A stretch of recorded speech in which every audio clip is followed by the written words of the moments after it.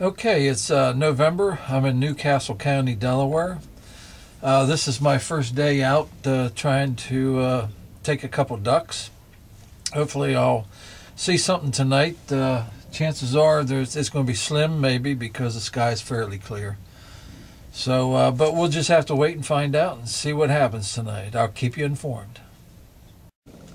I'll give you a brief look at what I'm looking at. There's a pond out in front of me uh, using flooded corn.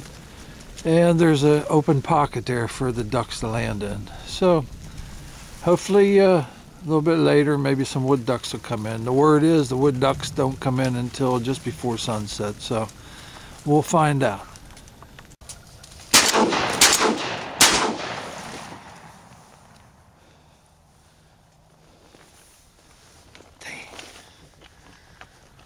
I missed them devils.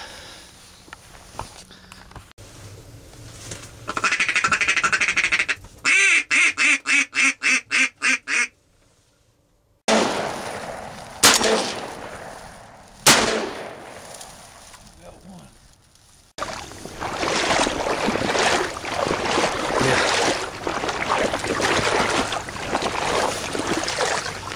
Yep.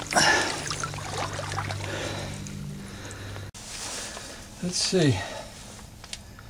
It's about 10 minutes after 4, and I had about six ducks come in, wood ducks, and uh, I was able to get one.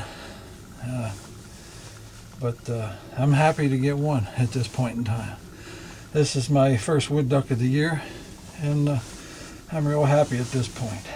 Hopefully, I'll see a couple more tonight. I'll keep you informed.